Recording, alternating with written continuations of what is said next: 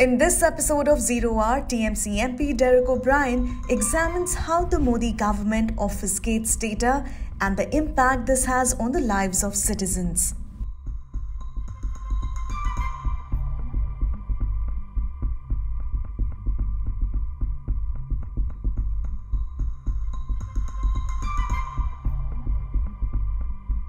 The figurative act of shooting the messenger has taken on a frightening reality.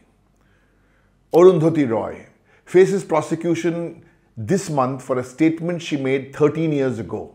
Raids at the residences of 46 journalists, editors, writers, and professionals, raids with anybody associated with the news portal News Click In.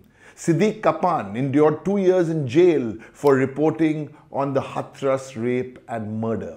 What are these people doing?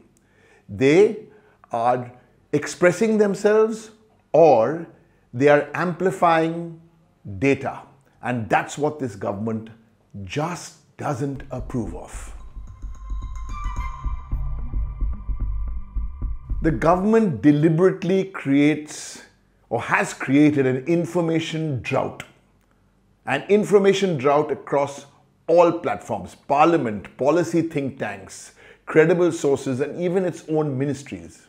Let me give you one example.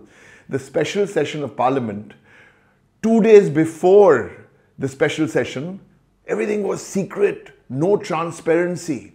Why? Because the government wanted to give one man the credit for the women's reservation bill.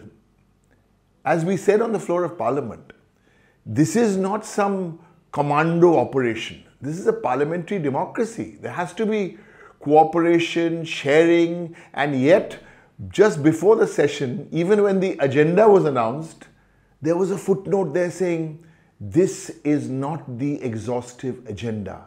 Means we will surprise you. Not good for parliamentary democracy.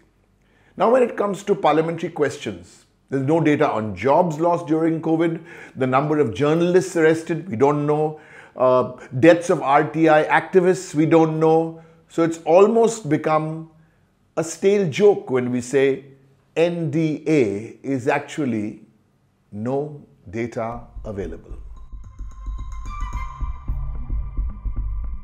So the reliance on outdated data means a substantial portion of the population is excluded from essential welfare schemes over 15 crore people have been deprived from the PDS, the public distribution system. Now, this lack of data is not just an administrative crisis, it's now a humanitarian one.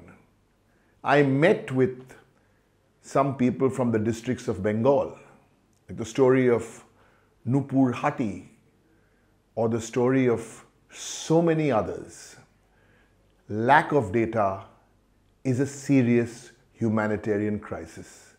This government must be open to accepting good data and quickly collecting good data.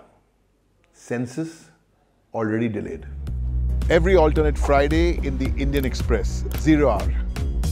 Click on the description below to read the full article.